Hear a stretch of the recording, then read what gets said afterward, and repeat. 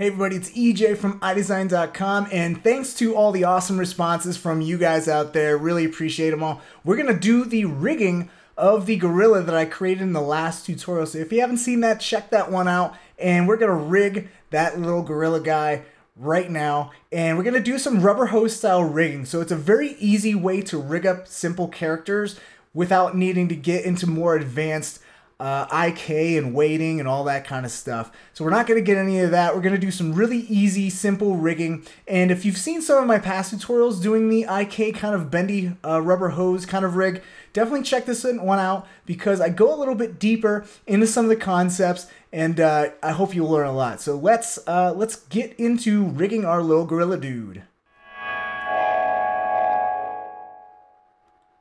All right, so let's rig this guy and get this gorilla moving and grooving. And what we're gonna do is rig him using splines and point IK. Now, that might uh, sound a little bit complicated, but it's not. It's super easy, and it's one of the easiest ways to rig a simple character without needing to get into the more advanced concepts of rigging, like weighting and joint stuff. So no weighting, we're not gonna Bob Ross weight paint anything here. We are going to use splines to rig this guy.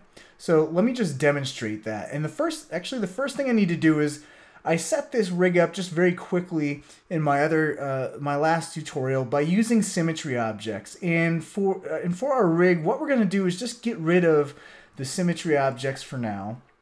So I'll just take the leg and the arm and just move them out underneath of the symmetry, so we just have one arm, one leg. And what we're going to do is just keep things nice and organized and rename all this stuff because we're going to ultimately have two legs, two arms, you know, like a normal uh, thing, like a creature, like a normal thing. Got two arms, two legs. So what we're going to do is uh, just name this the left leg and just do L underscore leg. And this is going to come, uh, this is going to be important later on because what we're going to do is rename these based on that underscore. So that's just kind of how I like to work. So then for the arm, we'll do L underscore arm. And uh, now what we need to do is, like I said, we're going to be rigging with splines. So I'm going to go into my front view here. And what we're going to do is draw a spline where we want his arm to go. So what I'll do is go to spline, pen tool, and I'll just draw just like uh, I'm drawing with a spline or a path in After Effects. And what I'm going to do is position this second point where his elbow would be. And then right at the bottom, I'm going to make this final point match exactly where his knuckle kind of hits the floor. Something like that. And then we can go in here and kind of edit this and adjust this if we want. And actually what I'm going to do is go into my spline object here and just make the type to linear for now. So we'll just, just so we can get a better representation of like, okay, this definitely looks like where the elbow should be. It looks about halfway between this point and this point on the floor. So that's looking good. And then all I need to do now is just, again, keep this uh, all structured and named correctly. So I'll do L underscore arm dot spline. So we have left arm spline, and I'll just move this right here. So let's go into our overhead view and just make sure because I think I drew this in the wrong position. So right now you can see that our arm spline is right back there. All I'm going to do is move this forward a little bit there. And that looks about centered. And I'll go to my parallel view here. And the only thing I need to do now is use a spline wrap. So I can actually uh, wrap this geometry and bend and deform this geometry of the left arm to follow along that left arm spline. And to do this, I have my left arm and it's made up of our thumb, our pointer, finger, and uh, our main arm. So three capsules here. So to have the spline wrap deform all three of those, I'm just going to drag and drop the spline wrap. So it's in the same level of the hierarchy of all of those objects. And you can see that the direction that this is facing is actually the wrong way. We need to do like a uh, negative Y, so it's facing down. You can now see that that arrow is now vertical, and that matches what we're going to try to do here. And then all I need to do is go ahead and define the spline that I want this geometry to be wrapped around. That's that left arm spline. If we did this correctly, There we go. We should see that if I grab one of these points here, you can see that, okay, my geometry is moving.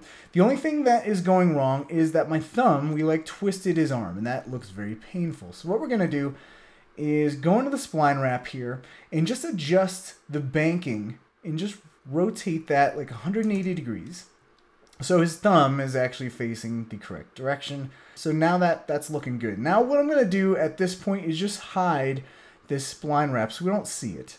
Uh, I don't want to see that box when we're just moving around here. So I'm going to double click on the little stoplight there, change it to red. And now we can set up this rig because right now the only way to edit this is if I go into uh, my actual spline and move things around but this is not a very efficient way to work. So what we're going to do is use a system that is called the point IK and what we're going to do to grab that is to go to our character tags, right click on the spline, go to IK and then turn on point IK. Now what this is going to do is look at the points on our object here or on our spline and decide how this IK rig is going to work. Now, IK is inverse kinematics, which means that when we move this hand, it's actually going to move everything else. And that's just basic rigging. And if you want to learn more about FK and IK, definitely check out my other tutorial that kind of goes through the differences between those two.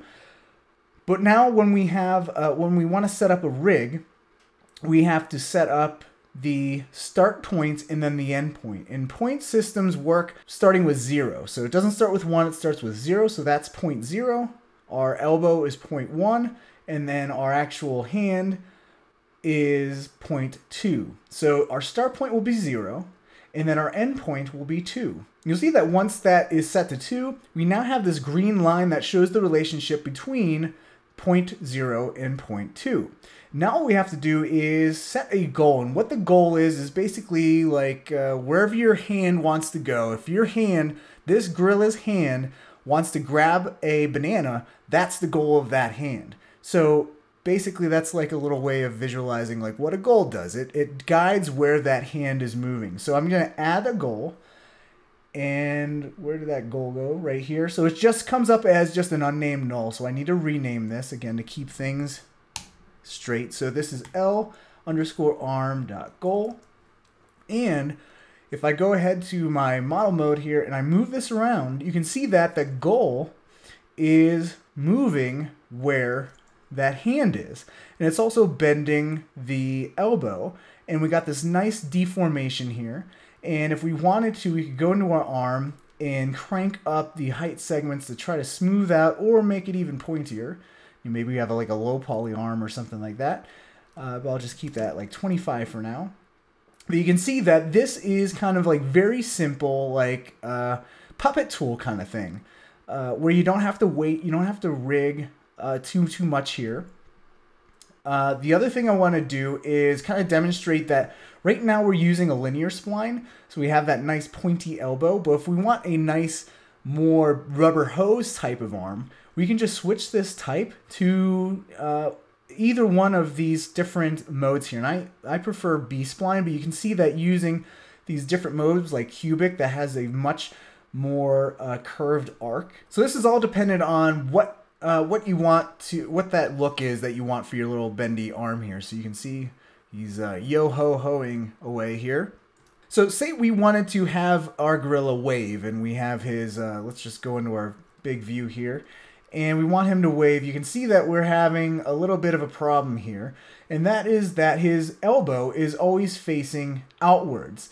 Now, we need an extra element here to control where that elbow is pointing, and what that element is in rigging is called the pole, or the pole vector.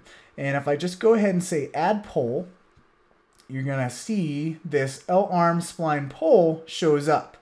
And if I go ahead and see where this is positioned, it's positioned right near his back area. But if I move this out, you can see that wherever I move this, uh, this pole is actually pointing or is determining where his elbow is pointing to. So this is very important because when you do character animation, you need to animate both the arm or the goal and you also need to animate the pole to do certain things. You can see that his arm's kind of detached here. So what we can do is go to our left arm spline here and we can actually like grab this uh, top point and move this a little bit closer. And actually what I want to do is be able to like rotate this whole entire arm. Now I could do this by just rotating the spline, but I don't want to work like that because then I'd have to actually adjust this anchor point and all this stuff.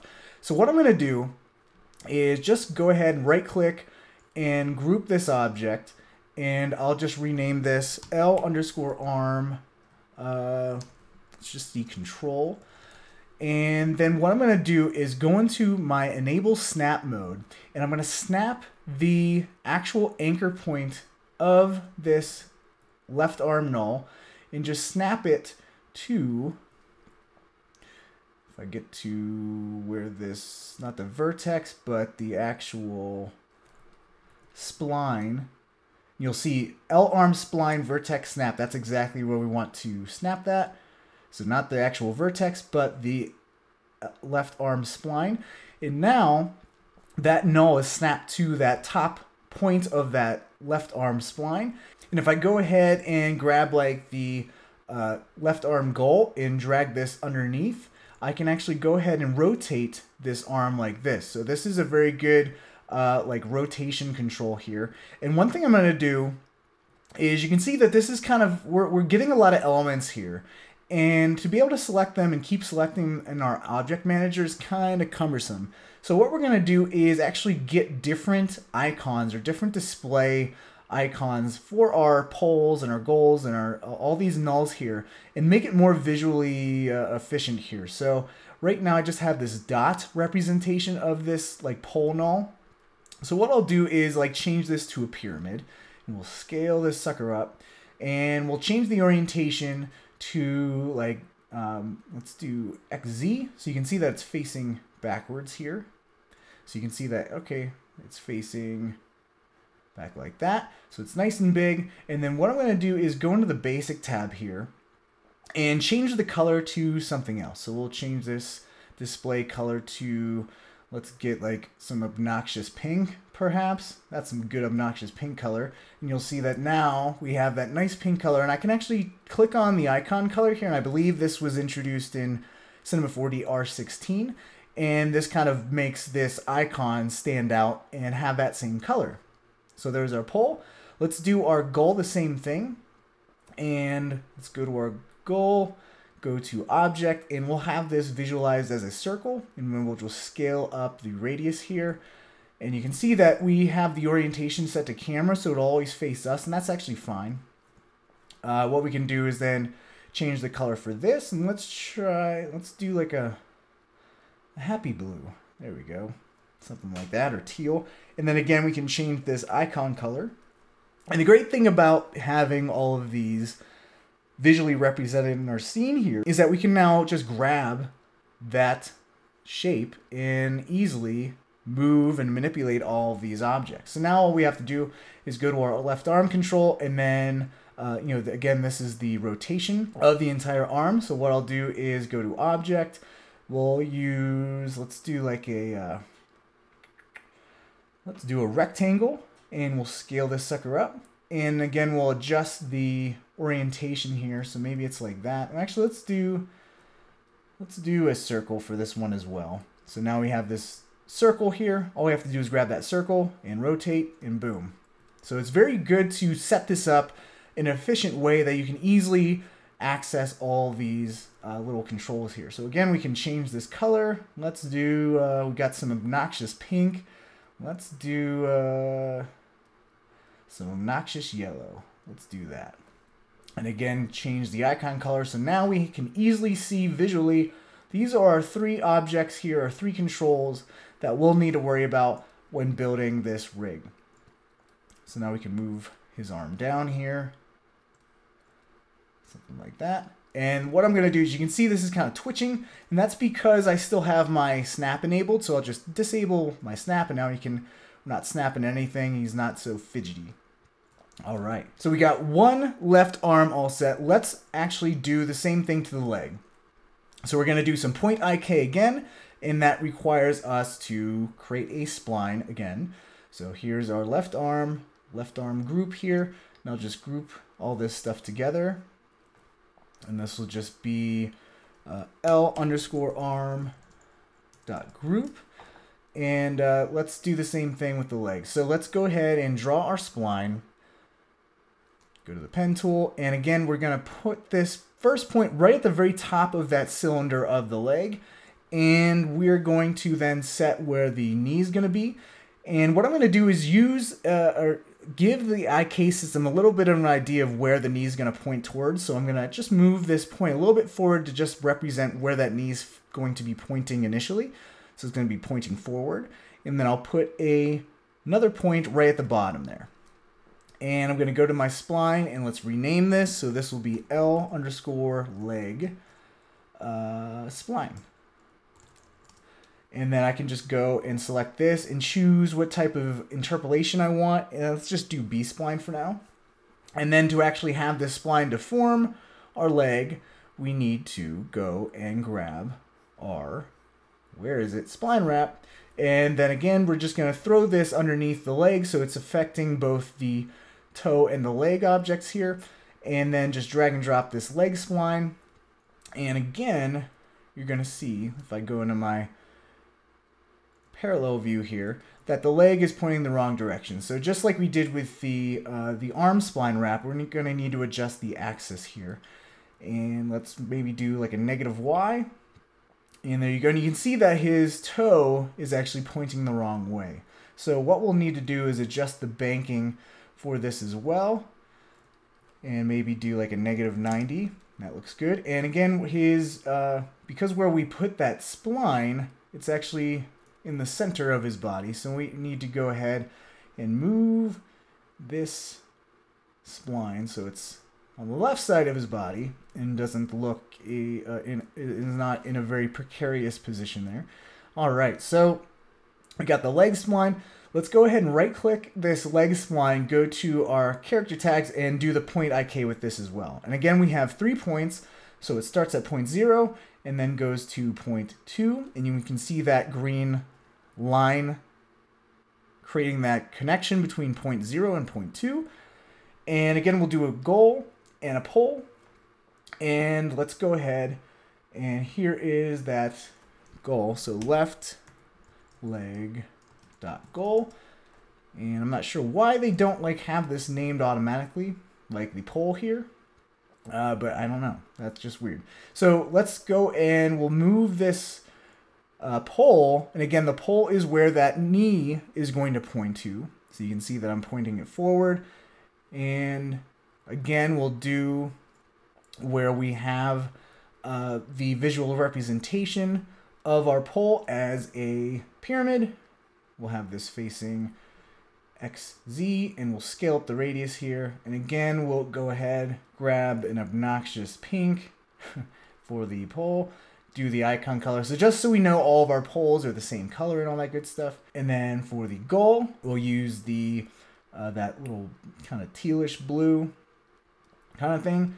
Change the icon color and we'll change this uh, goal to a circle as well. Same thing as the arm.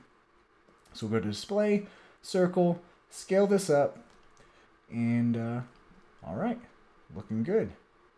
So now again, we have easy control of where this is all happening. So what I want to do now is be able to control the uh, the derriere of this monkey here, or this gorilla. Uh, so I can like rotate him around, and then his if he does a little butt wiggle, it'll move his legs. So what I'm going to do is basically set up controllers for that, and basically use that same spline wrap setup for the body here. So what I'm going to do is go into my write mode here. This is going to be very simple. So we'll just go uh, grab the pen tool and again just put a spline point at the very tip of where that uh, the body capsule, which is just that one capsule there. And then right uh, one right by the butt, right there. And what I'll do is then name this uh, just let's just do hip spline. Something like that. And then same kind of workflow, we'll group this body together and group that and go ahead and grab our spline wrap and place this underneath that null. And let's rename this uh, body group. Cool. And then the spline wrap will just drag in this hip spline. So the great part about this, and again, you're going to see that this is actually rotating the wrong direction here. We can adjust this to, uh, to negative y.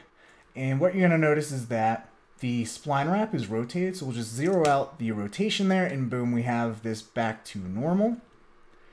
And uh, now we have this hip spline, and what we can do is kind of like shake, shake his booty by moving this point right here. And this will actually work for like any kind of character, like in the main torso area. And this is just more simplified because it's this gorilla. Uh, but you could add like a third point uh, in the middle here, just like we did with the arms. We can get a little bit of bend, but uh, I'm not going to do that. So what I'll do with this, go into my uh, parallel view here, and we're going to set up the IK rig uh, basically the same way on the hip because I want a controller that'll control the hip. And right now, the only way we have to access that is by actually grabbing that point and moving it around. But I actually want a goal that'll control that. So what I'll do is right click, character tags, IK, point IK, and again we'll set the start, and that'll be the head area, and that'll be point zero, and then it'll end at point one. So we just have the two points here. And then what I can do is add the goal, and I'll just name this hip goal. It's the hippest goal of all. And we'll just go and adjust this to like a circle, scale this up, and we'll change the orientation here. There we go. So now, when we move this, he's got his little, he's doing a little butt shaking. Uh, and then what we can do is actually use this goal and control the uh, the actual leg spline. So we can drag and drop the leg spline. So the leg is connected to the hip goal, and then we can move this around and it'll move the leg. All right, so what you're going to see is that if I move this too far, his legs just kind of detach. So what I'm going to do with this hip goal here is add a constraint. So I can't move it in the negative or positive Z here. So I can just move it up and down and the left and right butt shake. So what I'm going to do is right click on this hip goal, go to Cinema 4D tags, go to protection, and what I'm going to do is lock the, uh, I'll just uncheck all of these, and I'll just lock the position Z. So now you can see that I can move it left and right, I can move it up and down, but I cannot move it in the Z. So protection tag will prevent you from doing that and save yourself from yourself. All right, so everything's looking good. We have all of our rigs set up, all of our controls. Now we just got to make the right side of our arms and legs because right now he's fairly uh, handicapped. Let's give him uh, let's give him the other side. So what we're gonna do is just need to group everything together. So all of our left arm elements are grouped together already, uh, but our uh, right or our left leg group is kind of all over the place. So let's go ahead and uh, let's remove this left leg spline just for now from underneath that hip goal. And we'll just group the left leg object. So all the left leg spline, pole, uh, goal, the actual spline, and the leg with the actual spline wrap and the geometry. We'll right click and we'll just make this L underscore leg dot group and just make sure that we got everything there. All right. And now what we can do is select the left leg group and the left arm group, go to character, mirror tool, and this is where naming all these things correctly comes in handy. So we have L underscore leg, L underscore arm for all these elements because uh, typically you don't have to really mess around with anything like this uh, in here, but we want to go into this naming tool. And by default, this is just blank. So what we want to do is replace that L underscore with the R underscore. So you can see that that naming convention that we use is super, super important because now when we go ahead and just hit the mirror, you can see that we now have the copies on the right side, and that actually automatically renamed everything for us, which is really awesome. So now we have our controls on the other side. The one thing you're going to notice is that uh, a few things are wrong with the left arm here, or the right arm here, and that is that our color is switched. And that is because what the mirror command does is basically flips everything. So it changes it from like a positive to negative. So right now, our arm is still a capsule, and the orientation kind of stayed the same. So we need to manually flip this to po from positive Y to negative Y. And then the same thing with our spline wrap. Uh, this didn't change at all, so we need to actually change this from 180 and just zero that out, and that should have our arm facing the right direction. So that's so if you ever have run into those issues, uh, just change the spline wrap rotation and then the uh, orientation of your primitive if you're still using a primitive object because those will uh, remain the same with that mirror command. And uh, so now we have our whole entire setup here. All right, so let's go ahead and start moving things around and grouping things uh, together that makes sense. So the hip goal, uh, again, we need to attach our legs. So the legs are attached to the hip goal. So let's go ahead and let's grab our leg splines. So let's grab both the leg splines actually. So here's our leg, here's the right leg and the left leg. Let's pull these out and drag these underneath that hip goal. So you can see that when I move this, it's all wacky. And why that is is because all of our order of operations are out of whack. Uh, we have some spline wraps happening before the actual splines are affected by the IK, so that's the wrong order. So we actually need the IK to happen before the spline wraps. And now when we move this around, it acts as we expect it to.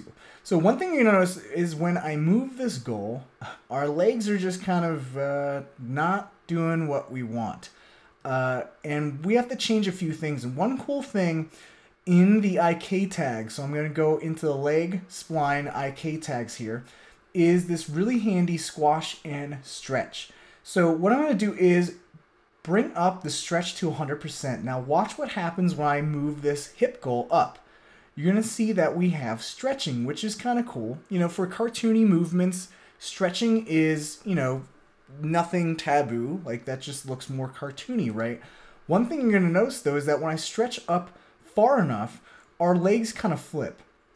And this is just happening within the spline wrap here. And the one thing we need to do is go into both of our leg spline wraps. And we have this banking, but depending on where we switch things and move things, the spline may switch. So we need to make sure that the the legs or the splines are always pointing the same direction. One way to do this is if we move this, let's move the hip goal up enough where it flips. So that's where it flips. Let's go to both of our spline wraps here. And what we're going to do is adjust the up vector and put a value in here that tells the object to always face a certain direction. So this is X, Y, and Z. So I want these legs to always point in the positive Z. So what I'll do is go to my up vector, and this is X, Y, and Z. And I'll just put a positive value of 1 in the positive Z here. And now when we move this, you'll see that that will always stay constrained forward. So this can also go with the arms. So if you ever see problems with the arms flipping a certain way, we can always go into the spline wraps for the arms and adjust the up vector there as well. But I think uh, everything is good there. All right, so we got our hip moving and grooving here, but uh, we actually need to do a little bit more grouping. So the arms and the head are actually moving along with this hip. So what we'll do is just grab the uh, arm controls here. So right arm and left arm control and just drag it underneath the hip goal. We can move that.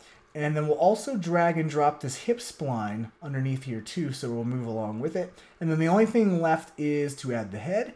And then once I can rotate, I can now rotate this around. We've got the squash and stretch on the legs there, so we can move very far.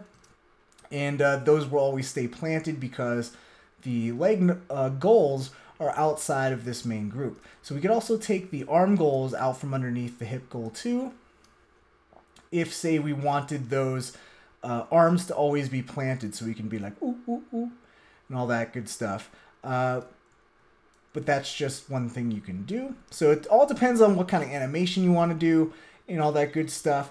But you can see that having all these controls is very important when it comes to rigging because there are so many elements to keep track of. You got the goals, the poles, the controllers here, and all that good stuff. So now with everything all set up, you can go ahead and animate all these controls and all these goals. And you can have this guy do some fist pumping and all that stuff. Uh, and what I like to do is either animate all these things by hand, so setting keyframes for the goals and all that good stuff, or using pose morph tag and pose morphs. And I have a couple tutorials out about using pose morph to animate characters, so definitely check those out.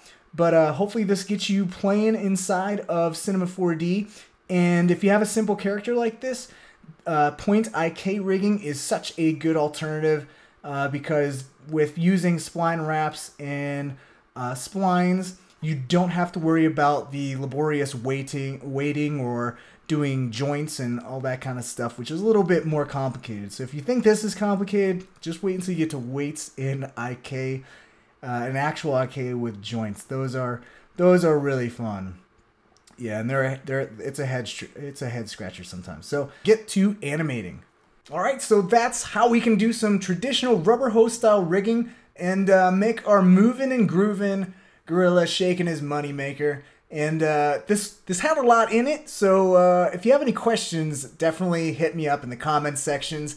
Uh, and if you make any of your characters making them dance or anything like that, definitely want to see it. So share it with me on Twitter, on Facebook, on the Instagrams. Love to see what you guys are coming up with. And if you like this tutorial, please hit the like button. I'd really appreciate that. And as always, thank you guys so much for the support. Love hearing your tutorial requests. So if you have a tutorial request, definitely leave them in the comment section as well. And if you want to see uh, some maybe some animation or something like that uh, for characters, hit me up as well. I'd love to hear what you guys had in mind. But I will see you all in the next tutorial. Bye, everybody.